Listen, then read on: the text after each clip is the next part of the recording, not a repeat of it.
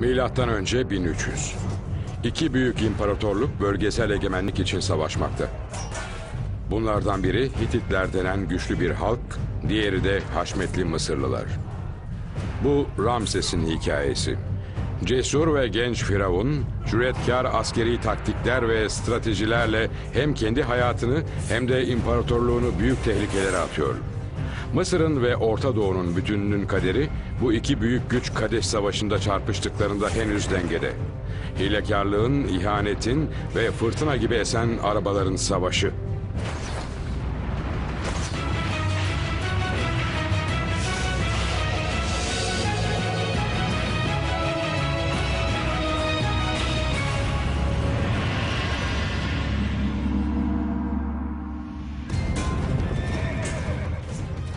Kadeş'te 17 bin Hitit askeri 20 bin Mısırlıya karşı savaşıyor. Her iki ordu da sınırlarını genişletmek ve nihai olarak Orta Doğu'yu kontrol edebilmek için savaşıyor. Kadeş Savaşı Antikite'nin en önemli savaşlarından biridir. İki imparatorluğun, Hitit ve Mısır İmparatorluğu'nun bugünkü Suriye'sinin sınırları içinde bulunan çok önemli bir askeri operasyonlar bölgesi olan Kadeş'te çarpıştığı savaştır. Hititlerin vatanı ise buradan 1500 kilometre ötede bugünkü Türkiye topraklarının içinde bulunan Hatti. Ama savaş iki süper gücün ana vatanlarının ortasındaki bir yer için yapılıyor. Burası bugünkü Suriye topraklarının içindeki Amaru denilen bölge. Amaru eski dünyanın kavşağıydı. Eğer ticaret yapacaksanız Amaru'dan geçeceksiniz. Birine saldıracaksanız ya da bir saldırıyı önlemek istiyorsanız Amaru'yu kontrol etmek zorundasınız. Hititlerin başında Muvatalli adında genç bir kral var. Henüz 30'larının başında olduğu sanılan Muvatallis, savaş meydanındaki zekasıyla tanınıyor. Mısırlıların başında ise Firavun II. Ramses var. İkinci Ramses, birinci Seti'nin yani Mısır tarihinin büyük savaşçı firavunlarından ilki olan Seti'nin oğluydu. Ramses, tahta 22-23 yaşlarındayken çıktı ve savaşçı firavunların yolunda gitmeye karar verdi. Hatta tıpkı 200 yıl önce Mısır İmparatorluğu'nun ilk kurulduğu yıllardaki savaşçı firavun ataları gibi Ramses Mısır askeri geleneğinin iki başarısının kendisinde vücut bulduğunu düşünüyordu. Bunlardan biri Mısır'ın bir daha asla tehdit edilmemesi ve Mısır'ın güvenli olması. İkincisi ise imparatorluğunun sınırlarının Mısır'ın düşmanlara karşı genişletilmesiydi. Mısırlılarla Hititliler arasındaki kan davası her iki imparatorluğun emekleme yıllarından beri asırlardır mayalanmaktaydı. Mısır milattan önce 3200 yılı civarında Nil deltasının verimli toprakları çevresinde kurulan feodal yerleşimlerin toplamı olarak ortaya çıkmıştı. Birkaç yüzyıl boyunca büyüdü ve yayıldı ama komşularıyla barış içinde yaşadı. Bunun avantajları da vardı, dezavantajları da. Refah ve huzur içinde uzun süre yaşayan bir ülkenin avantajı, sanat, mühendislik, mimarlık, resim, şiir ve dil alanında muazzam bir gelişmeydi. Bu perspektifin şaşırtıcı dezavantajı ise dünyanın sizin çevrenizde dönmeye başlamasıydı. Yeni teknolojik gelişmeler meydana geliyor ama siz bu işin bir parçası değilsiniz. Dünyanın kalanıyla ilişki kurmadığınız sürece bir sorun yok. 17. yüzyılda da milattan önce 1650'de Mısırlılar hayatlarının en beter sürpriziyle karşılaştılar. Bu sürpriz kuzeyden gelen Hyksos isimli bir kavmin saldırısı. Hyksoslar Kenan ve Suriye'deki şehir devletlerinden geliyorlar. Bu kuzeyli akıncılar Mısır'da fırtına gibi eserek geride kan ve yıkım dolu bir iz bırakıyor. Mısır dış dünyanın etkilerine neredeyse münzevi denecek kadar kapalıydı. Bu yüzden bu istila büyük bir şoka neden oldu. Mısır toplumunu temelinden sarstı ve tamamen değiştirdi. Hyksoslar Mısır'da yaklaşık 80 yıl kaldı. Sonunda Mısırlılar isyan etti ve 30 yıl süren bir kurtuluş savaşı verdi. Hyksosları ülkeden atmayı başardılar ama kuzeyin etkisi ortadan kalkmadı. Mısır'ın kuzeyden gelenler tarafından işgal edilmesinin olumlu sonuçlarından bir tanesi, üstün askeri araçlarının Mısır ordusuna geçmesi oldu. Mısırlılar bu yakın dövüş silahlarını kullanmayı öğrendi. Savaş alanında yeni bir manevra yöntemi daha vardı. İki kişilik savaş arabası. Ama Mısırlılar bu arabayı kullanmakla kalmayıp geliştirdiler de. Mısırlılar arabada üç temel değişiklik yaptılar. Bu da savaşa uygulanışında bir çığır açtı. İlki Kuzeyliler arabanın ön tarafında ve tekerlerde savaşırken Mısırlılar savaşı arabanın arkasını ve tekerleklere çektiler. Ve kesinlikle yeni bir çığır açmış oldular. Dingil mümkün olduğunca denge, hız ve manevra yeteneği sağlayabilmek için 1.6 metre uzunluğundaydı. Araba kısmı 1 metre genişliğinde, 2 metre derinliğinde, yarım metre yüksekliğindeydi. Arabanın dışı tahtadandı. Tutma yeri meşe ya da gürgen ağacındandı. Hayvan postu ya da kamışlarla kaplanmıştı. Döşemesi ise okçunun dengesini sağlayabilmesi ve sarsıntıyı emmesi için esnek deri ya da özel dokunmuş bezlerle kaplanmıştı. Mısırlılar Hiksosların dört dilimli tekerleğini altı dilim olarak değiştirmişti. Bu ilk bakışta basit görünen değişiklik çok daha güçlü bir tekerlek demekti. Bu tekerlek insanı perişan eden engebeli bir arazide saatte 30 kilometreye çıkan bir hıza ulaşabilmeyi sağlıyordu. Herhalde en müthiş teknolojik yeniliklerden bir tanesi de arabadan uzanan ve atları arabaya bağlayan sopanın bir U bağlantısı haline getirilmiş olmasıydı. Çünkü bu bağlantı hareket edebiliyordu. Yerine sabit değildi ve sarsıntıyı fazlasıyla emiyordu. Arabanın bütünlüğünü sağlamakla kalmıyor, içinde bulunan askerlerin daha sağlam durmasını mümkün kılıyordu. Bunların hepsini bir araya getirdiğiniz zaman Mısırlıların bu aracı epeyce değiştirdiğini görebiliyorsunuz. Günümüz terimleriyle bakarsak olay savaş alanında süper modern bir tanka sahip olmakla aynı anlama geliyor. Araba savaş bakımından çok büyük bir adımı temsil eder. Çünkü savaşa hareketlilik kazandırmıştır.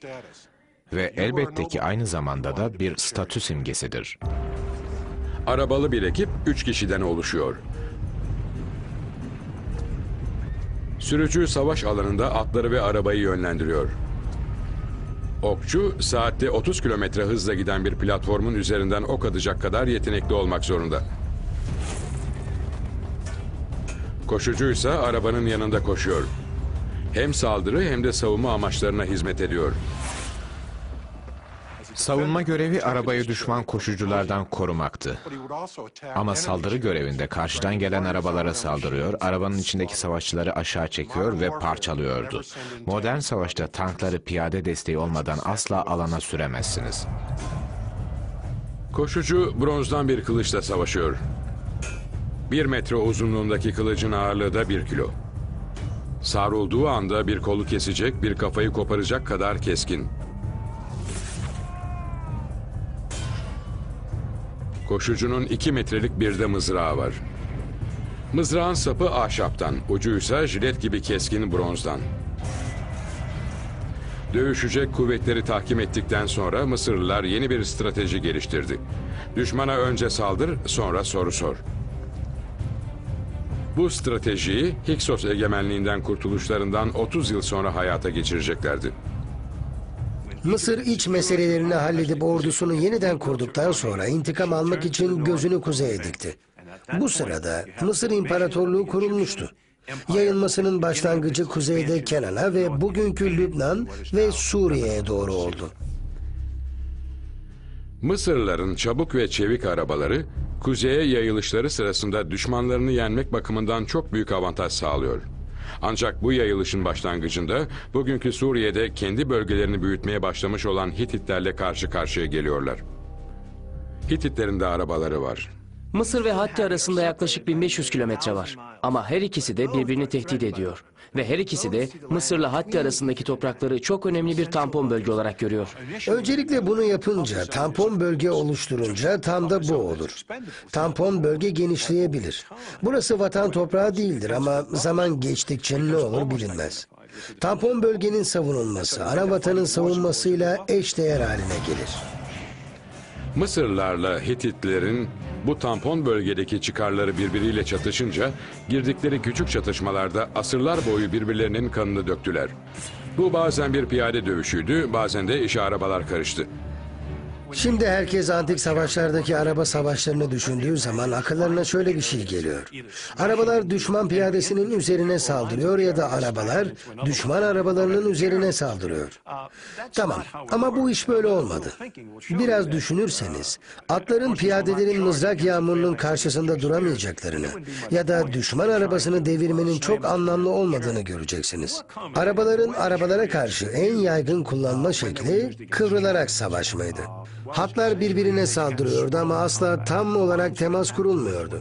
Her arabanın okçusu karşı arabanın sürücüsünü ya da okçusunu ya da atını hedefliyordu. Yan yana geçiyorlardı yani birbirlerinin yanından geçiyorlardı. Sonra dönüyorlar ve birbirlerinin arkasında duruyorlardı. Yani dönüyorlardı. Bazen birbirlerine değil, en yakındaki hedefe nişan alıyorlardı. İki kişilik Mısır arabası hafif ve hareketliyken Hitit arabası çok daha büyük, ağır ve yavaş bir araçtı. Dingil taşıyıcı platformun ortasına yerleştirilmişti. Bu da hızı ve stabiliteyi azaltıyordu ama çok büyük başka bir avantaj sağlıyordu. Üç kişiyi birden taşıyabilme yeteneği. Burada arabacı, okçu ve koşucu savaşa hep birlikte giriyordu. Bazı tarihçiler bu yeniliğin Hititlerin başka bir düşmanı Mitannileri yenmelerinden yıllar önce geliştirildiğini düşünüyor. Mitanniler Fırat ve Dicle nehirlerinin arasındaki bölgede yaşıyordu.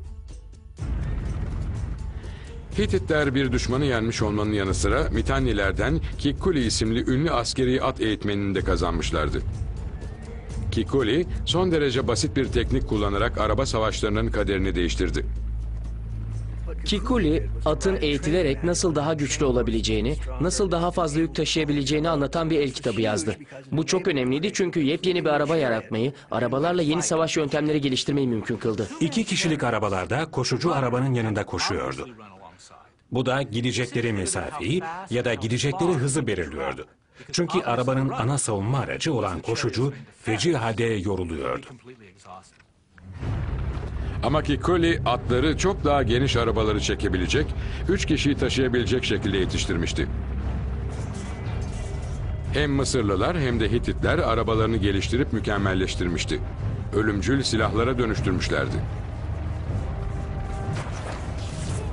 Yüzlerce yıl geçtikten sonra bu iki büyük savaş arabası kültürü arasındaki çatışma Firavun Ramses'in düşmanıyla Kadeş Ovası'nda karşı karşıya geldiği anda yaşanacaktı.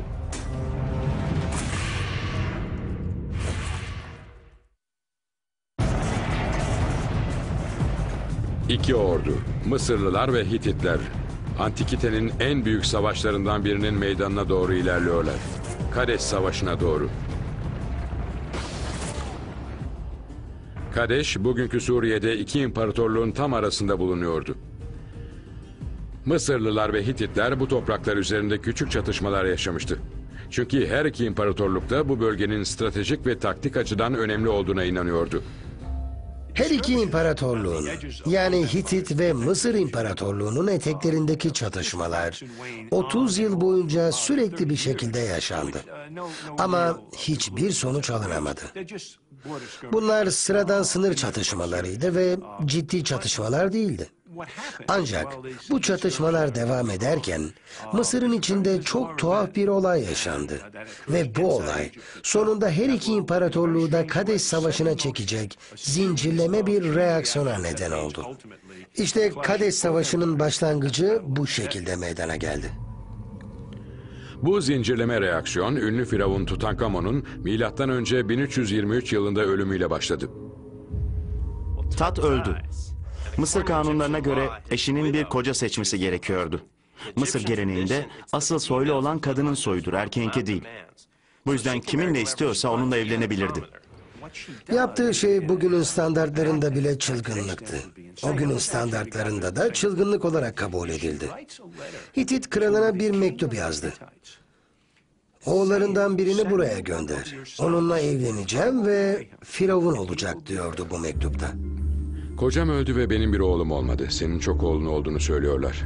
Bana oğullarından birini verirsen onu kocam yaparım. Tebaamdan birini koca olarak almak istemiyorum. Kleopatra'dan İsa'ya, Ralph Ellis, sayfa 31. Anlaşılan Tad'ın karısı, Tad'ın kendi tebaasından biri tarafından öldürüldüğünü düşünüyordu.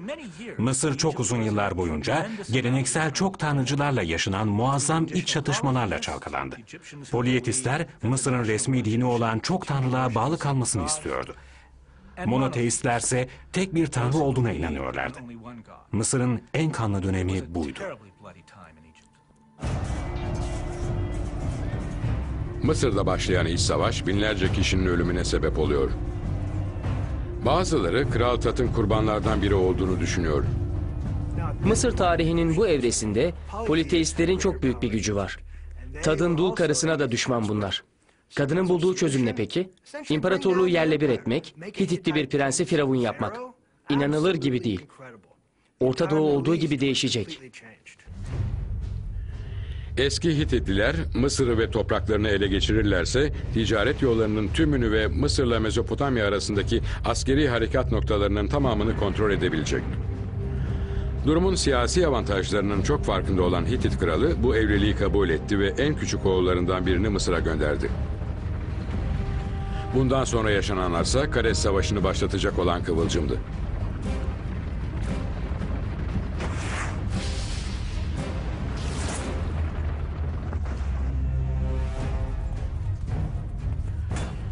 Tat'ın dul karısının Mısırlı düşmanları bu evlilik planını öğrendiler ve Hitit prensini pusuya düşürdüler.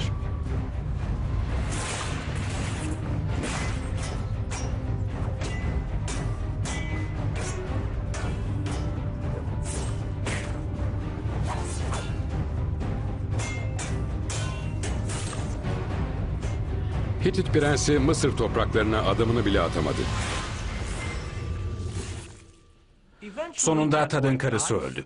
Bazılarına göre de öldürüldü. Ancak asıl mesele Hititlerin bu suikasta tepkileridir. Tahmin edebileceğiniz gibi Hitit kralı çok öfkelendi. Hitit kralı büyük savaşçı Şubbiluliuma'ydı. Öfkesinden delirdi. Oğlunun ölümünün intikamını almak Mısır'a karşı açmayı düşündüğü savaşın en önemli sebebiydi. Ama tek sebep bu değildi. Şubbi Luliuma aptal değildi. Oğlunun ölümünün imparatorluğun dış politikasına hakim olmasına izin verecek biri değildi. Ancak değerli Amarru bölgesi için yeniden savaşa başlamaya iyi bir neden oluşturdu. Şubbiluliuma ordusuna 10 yıla yakın bir zaman komuta etti. Ancak Hitit kralı milattan önce 1322 civarında öldü. Onu öldüren bir düşman kılıcı değildi. Gözle görülmeyen ancak çok daha tehlikeli bir düşmandı. Mısır garnizonlarına saldıran Hitit birliklerinin yaptıkları şeylerden biri savaş esiri almak ve bunları hiç bekletmeden bugünkü Türkiye sınırları içinde bulunan ana vatanlarına göndermekti. Anlaşılan bazı bulguların gösterdiği kadarıyla bu savaş esirlerinin çoğu vebaya yakalanmıştı. Ve veba Hitit ordusundaki askerlere bulaşmakla kalmadı. O dönem Anadolu'da ve Orta Doğu'da büyük bir salgına neden oldu. Vebadan ölüm oranı gerçekten çok yüksekti. Hatta kralın kendi de bu hastalıktan öldü. Bu tarihin bir gerçeği. Şubbiluliuma'nın ölümünden sonra Mısırlılarla Hititler arasındaki çatışmalar önemli ölçüde azaldı. Milattan önce 1300 yıllarında yaşanan bu nispeten sakin dönem sırasında Firavun II. Ramses iktidara geldi. Henüz 20'lerinin ortasında olan Ramses, sert ve kavgacı mizacıyla tanınan bir savaşçı kraldır. Mısır'ı korumak için kuzeydeki tampon bölgeyi işgal etmesi gerektiğine inanmıştır. Ramses askeri gelenekten geliyordu. Ayrıca kendine yalnızca hüküm sürmekte olan Firavun olarak değil, 200 yıl önce kurulmuş olan Mısır İmparatorluğu'nda hüküm sürmüş olan savaşçı Firavunlar geleneğinin bir devamı olarak görüyordu. Şimdi kafasının içini anlamaya çalışırsanız kendini çok büyük bir savaşçı olarak gördüğünü anlarsınız. Ama asıl amacı varoluşunun asıl nedeni kesinlikle Mısır'ı korumaktı. Ramses, Firavun oluşunun 5. yılında Hititlere karşı bir saldırı başlattı. 24 bin askerini kuzeye Gazze kıyılarına yönlendirdi. Ordusu her biri bir Mısır tanrısının adını taşıyan dört birlikten oluşmuştu. Amun, Ra, Ptah ve Seti. Her birlikte 6 bin asker vardı. Bunların 5 bini piyade, 500'ü de iki kişilik arabalardan oluşuyordu.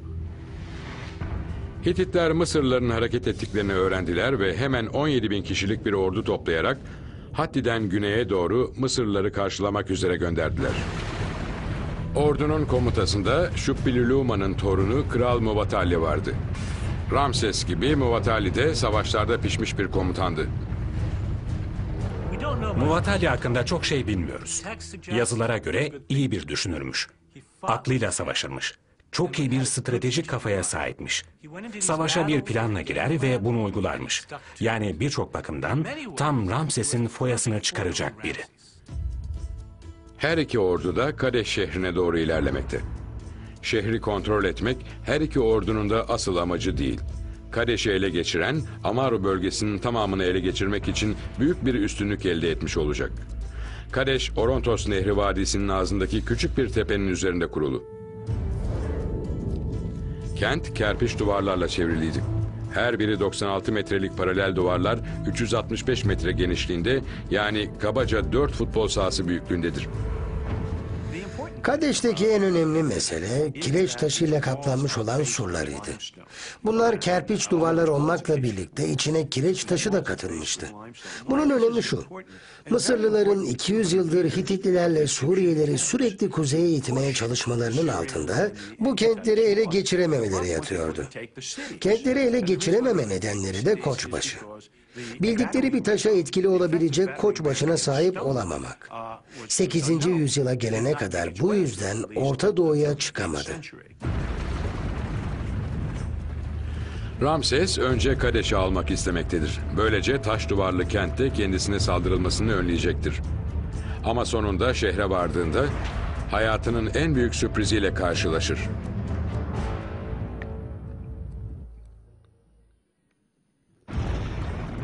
Mısır Firavunu 2. Ramses 24 bin kişilik ordusunun başında Hititlere saldırıya hazırlanıyor. Ramses ve ordusu iki imparatorluk arasındaki tampon bölge olan Amaru'ya doğru yola çıktı. Biblos şehrine yaklaştıklarında Ramses orduyu ikiye böldü. Komuta ettiği üç birlik Amun-Ra ve Ptah, Liten Nehri'nin üzerinden gidiyordu. Bu birliklerde bulunan 18 bin asker stratejik Kadeş şehrine güneyden yaklaşacaktı. 6 bin askerden oluşan Seti birliğini ise sahilin kuzeyinden gönderdi. Bu birlik Lübnan dağlarını aşacak ve Kadeş'e kuzeybatıdan yaklaşacaktı. Ramses'in amacı aslında şehri kıskaça almaktı. Ordunun büyük kısmı vadiden bu tarafa doğru gelecek ama sonra ne olacak? Batıdan daha küçük bir birlik Kadeş şehrine gidecek. İşte stratejik plan buydu. Bu çok büyük bir işin altına girmekti. Ramses'in askerleri dörder kişilik sıralar halinde günde 50 kilometre yürüyeceklerdi. 4000 katırla eşeğinde nakledilmesi gerekiyordu. Her askerin üzerinde günlük ekmeğe dönüştürmek üzere 3 kilo buğday ve 8-9 kupalık su bulunuyordu. Bir aydan fazla sürecek olan böyle bir yürüyüşte ordunun %17'si incinme, kırıklar, akciğer enfeksiyonları gibi nedenlerle kaybedilir. 20 bin askerden oluşan bir orduyu savaşa hazır bir halde 800 kilometre yürütmek akıllıca bir davranış değildir. 40 günlük korkunç bir yürüyüşün ardından Ramses ve komutasındaki üç birlik Kadeş şehrinin 15 kilometre güneyine Robavi ormanının yakınına kamp kurdu. Ama Ramses'in üç birliğinde hep birlikte kamp kurduğunu söylemek pek doğru olmaz. Evet aynı zamanda durdular ama çok kalabalıktı. Bu yüzden arkadakiler önde bulunan Ramses'ten 25 kilometre uzaktaydılar. Ramses artık Amaru'nun çok içlerine girmiştir. Hititler her an karşısına çıkabilirler. Ya ileriye keşif kolu yollamayı ihmal etmişler ya da bu kollar kimseyi görememişler. Ramses Hititlerin nerede olduğundan haberdar değildi. Ramses'in kampının yakınlarında Mısırlı devriyeler iki tane yerli bedevi yakaladı. Bunlardan Hitit ordusunun yerini öğrenmeyi ummaktaydılar. Tapınak yazıtlarından Ramses'in savaşa yanında götürdüğü bir aslanı olduğunu biliyoruz. Aslanın bazı durumlarda nasıl söylesem işbirliğini teşvik için kullanıldığı söylenmiştir.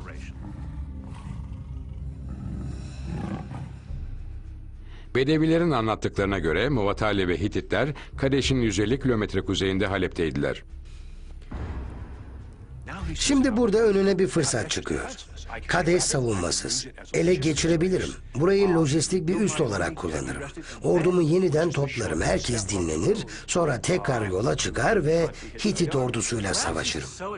Ramses o kadar heyecanlanır ki korumalarıyla birlikte arabasına atlar ve Kadeş'e doğru yola çıkar. Ama bir sorun vardır. Ramses o gençlik heyecanıyla yola çıkar ama ordusu ardındaki 25 kilometreye yayılmıştır. Amun birliği hemen kurmaylarını toplar. Savaşa hazır durumda değillerdir. Kurmaylar omuzlarını kaldırırlar. Zamana ihtiyacımız var derler. Adamlar yollara dökülür. Önden gidenleri yakalamaya çalışırlar. Ramses ovaya kamp kurmaya başlar. Hazırlıksız Amun birliği yavaşça ona yaklaşmaktadır. Ra birkaç kilometre geridedir. Pıtah hala Robavi ormanının yakınlarındadır. Seti birliği ise Akdeniz sahilinde bir yerdedir. Ramses bu işi parkta yürümek sandı. Korumaları kampını kuruyorlar. Amun birliğinin unsurları kampa daha yeni gelmeye başladılar. Her şey karma karışık. Ra birliği açık ovaya yayılıyor ve Muvatalli tuzağını kuruyor. Kentin güneyindeki ağaçlıklardan 2000 Hitit arabası çıktı. Ağaçlıklardan fırladılar ve Ra birliğine sağ kanattan saldırdılar.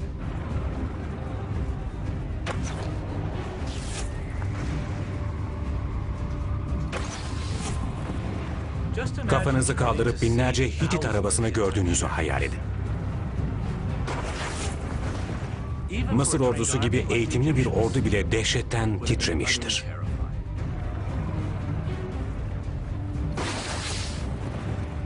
Ramses'in Ra birliği bu arabalar tarafından telef edildi. Savaşa hazır değillerdi. Savaş düzeni alamadılar. Darbeyi yediler ve ovaya dağıldılar. Hitit arabacıları kargaşa içindeki savaş meydanına daldı.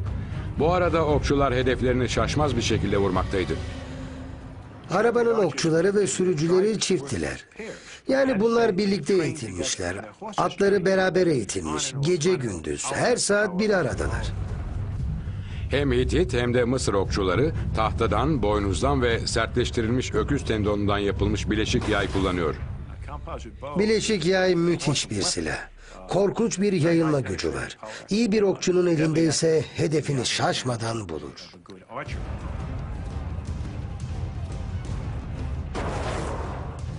Okçuların bazıları yerdeki koşucuların yanına inecek ve piyade savaşına katılacak.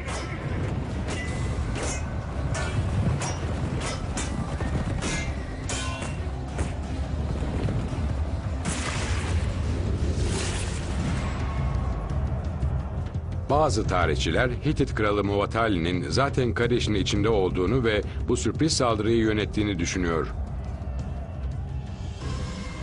Bedevilerin anlattıkları yalan. Ramses'in ordusu at gözlüklü. Muvatali'nin planı zekice.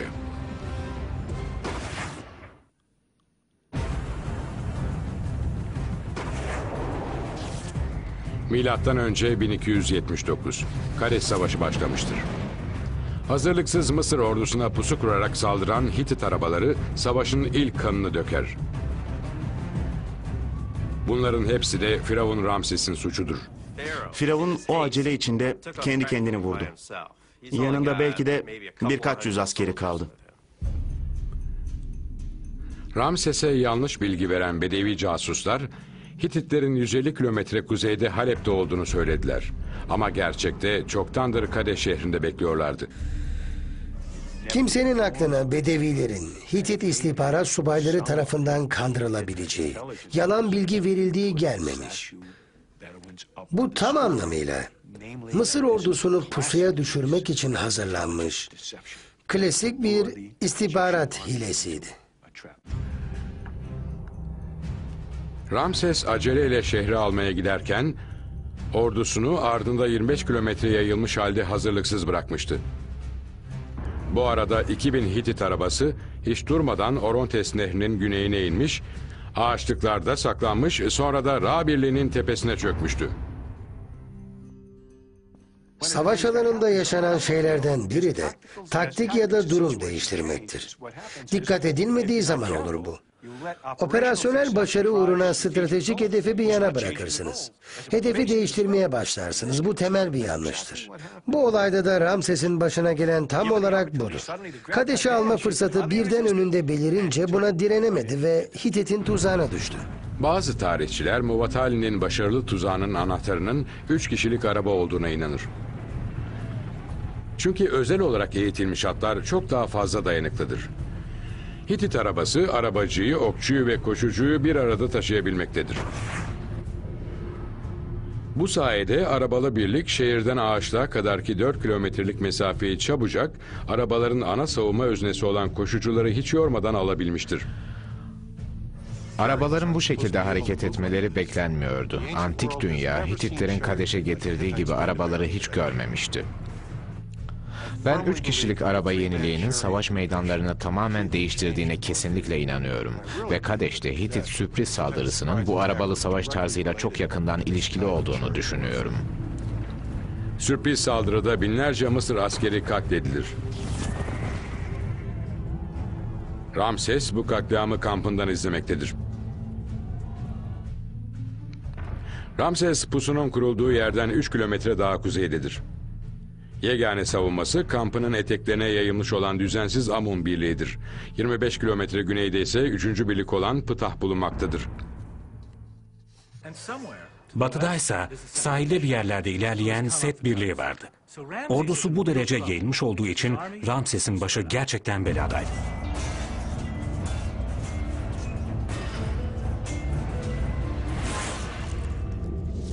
Ramses üst üste darbe yiyor. Ordusu dağılmış tam bir kaos içinde. Yani eğer Hititler Ramses'i ele geçirirlerse Mısır İmparatorluğu darmadağın olur. Hitit arabalarının bir sonraki hedefi ise Ramses'tir. Hitit arabaları kuzeye döndüler. Hedefleri doğruca Ramses'in yeni kurulmaya başlanmış dağınık kampı. Amun birliği kampa daha yeni girmiş. Toparlanmaya çalışıyor ve o sırada bam! Sağdan vuruyorlar. Arabadan atlıyorlar ve korkunç bir piyade muharebesi başlıyor. Ve ortalık karışıyor.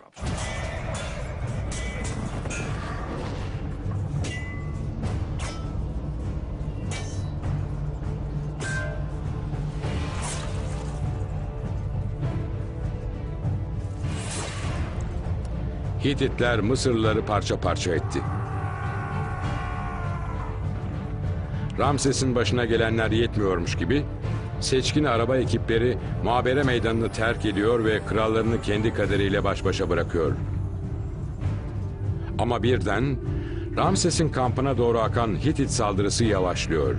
Mısır firavununun kampına saldırmak yerine Hitit askerlerinin çoğu duruyor ve kampı yağmalamaya başlıyor. Ama asıl sorun bu değil. Asıl sorun muharebe meydanına hiç çıkmamış olan Hitit piyadesi. Bunun bedeli çok ağır olacak. 10 bin Hitit piyadesi ve bin yedek araba Kadeş'in doğusunda bekliyor. Bu 10 bin piyadenin varlığı şu an hiç hissedilmiyor. Muvatalli Ramses'i zaten yakaladı. Şimdi yerle bir etmek için piyadesini sürmesi lazım. Ama Muvatalli piyadesini harekete geçirmiyor.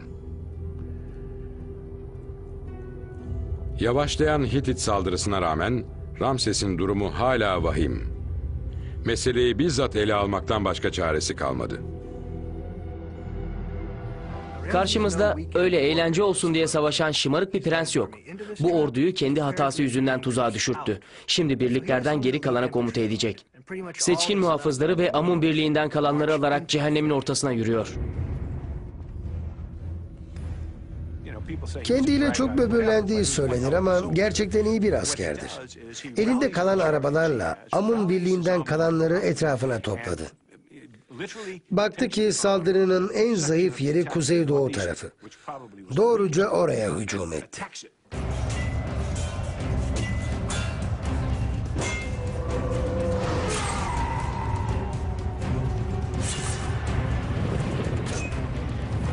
Ramses kendini topladı ve Hititleri geri püskürtmeye başladı.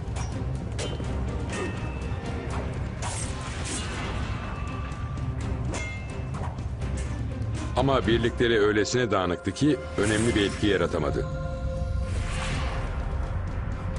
Muvatalli hala avantajlıydı. Bir kenarda bekleyen 10 bin piyadesini savaşa sürerek bu işin sonunu getirebilirdi. Şimdi tam sırası işte. Burunlarından yakaladın, kıçlarına tekmeyi bas. Şimdi sıra Muvatalli'nin piyadesini sürmesinde. Muvatalli hayatının en önemli kararlarından birini vermek üzere. Bu karar tarihin de seyrini değiştirecek.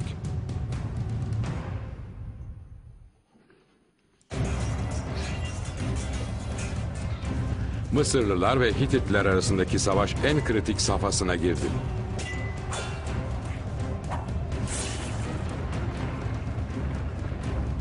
Ani araba saldırısıyla başlayan savaş, Kadeş Ovası'nda bir piyade muharebesine dönüştü. Şok saldırıyla düşmanı gafil avlayan Hititlerin durması Mısır firavunu Ramses'in lehine oldu. Eğer Hitit kralı Muvatali bir sonraki taktik hamleyi yapar ve piyadesini harekete geçirirse, Ramses'i rahatça çevirir, hızlı bir darbeyle öldürerek yenebilirdi. Şimdi tam zamanı. Burunlarından yakaladın, kıçlarına tekmeyi indir. Şimdi Muvatali'nin piyadesini yollama zamanı. Kuzey doğusundan harekete geçecekler. Şehrin kuzey doğusundan ilerleyecekler ve her yöne yayılacaklar. Arabalar güneyden gelecek. Piyade ise kuzeyden gelecek. Ve kumanda ellerinde savaş biter. Hitit saldırısı yavaşladı. Kampın içine sıkıştı. Bir piyade savaşına döndü. Şok ve hareket önceliği özelliklerini yitiriyor. Piyade savaşına sıkışıyor. Elinde piyade balyozu var ama bunu bir türlü kullanmıyor. Muvatali'nin piyadesini neden harekete geçirmediği bilim insanlarına göre büyük bir sır. Ama Ramses'in başı hala dertte. Piyade savaşına sıkışmış oldukları halde Hititler hala canla başla savaşıyor.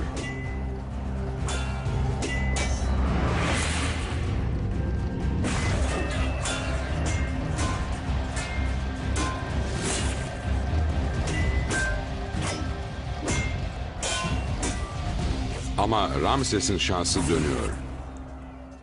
Tam o sırada 2. Mısır ordusu Set Birliği Lübnan dağlarını aşıp Kadeş Ovası'na giriyor. Tam zamanında gelip Ramses'in imdadına yetişiyor. Ramses'in Mısır sahilinde ilerleyen Set birliği sonunda Kadeş'e ulaşıyor. Set birliğiyle 5000 asker ve 500 araba geliyor. Ramses'in eline Hititleri Orantes Nehri'nin ötesine sürmeye yetecek güç geçti artık. Kadeş'in dışındaki ovada çok büyük bir araba ve piyade muharebesi yaşanıyor.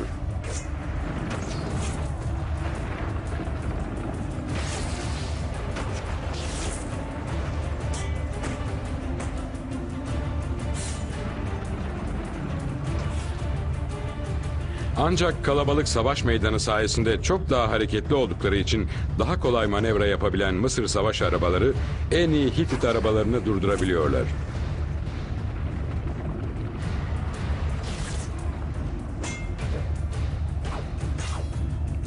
Ramses başarıyla üstünlüğü ele alıyor.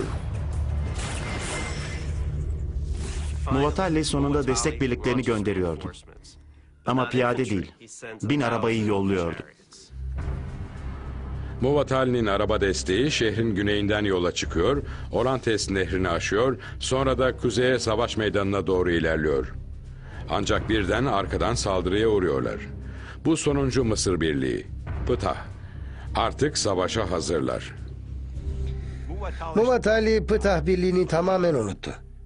Yani gözlerinin önünde oluyor. Muazzam bir savaş yaşanıyor orada. En iyisi ovayı geçmeyelim, yukarıdan gidelim diyerek savaş düzenine geçmiş oluyorlar. Hititler tam Orantes'i geçmeye başladıklarında Ptah da ovaya doğru yürüyüşe geçmişti. Arkalarını onlara döndüler ve Mısırlılar arkalarından vurdu. Hititliler hazırlıksız yakalandı. Ramses'in Amun birliğinden kalanlarla Set birliği ön cephede savaşıyor. Ptah birliği ise arkadan saldırıyor. Muvatali korkunç bir hata yaptı. Kötülerden sonra iyileri savaşa sürmeyeceksin. Eğer birlik süreceksen bunu zaferini ilan etmek için yapacaksın. Berabere ya da yenilgi durumunda değil. Ama yenilgiden korkup bu hatayı yaptı. Hitit arabaları kaçamaz. Her iki taraflarında da Mısırlılar var. Manevra da yapamıyorlar çünkü şu anda Ramses'in yarı kurulu kampının tam ortasındalar. 2000 Hitit arabası heba oldu ve Muvatalli muazzam bir avantajı elinden kaçırdı.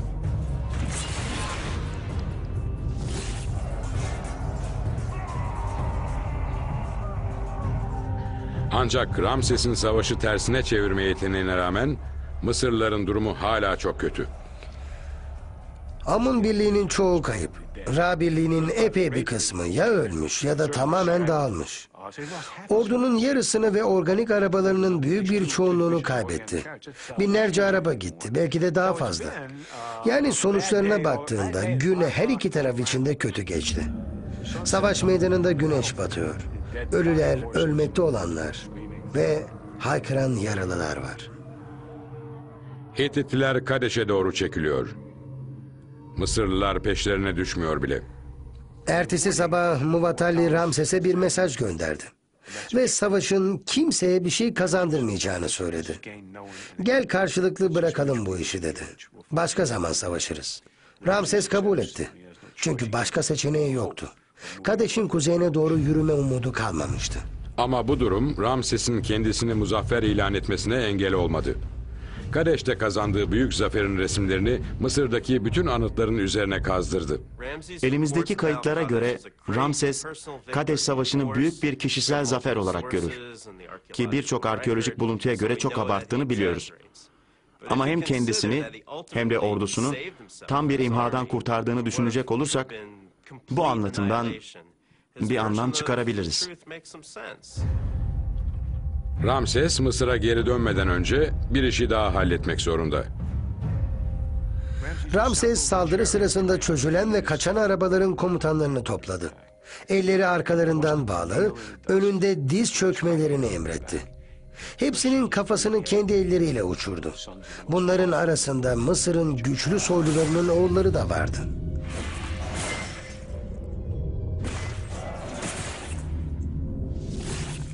Antik çağlardaki savaşların en kanlılarından biriydi. Ramses böylece ordusuna sadakatsizliğin bedelini göstermiş oldu. Ramses, Kadeş'te yaptığı hatalardan kendi payına ders çıkartmıştı. Ama onun hatası tarihin büyük generallerinin hepsinin yaptığı bir hataydı. George Armstrong Custer, Kadeş'te Ramses'in düştüğü tuzağın aynına düştü.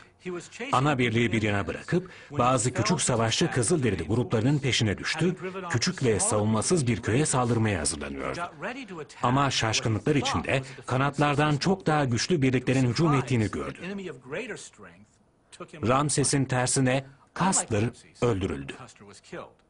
Ama hata ve taktik aynıydı.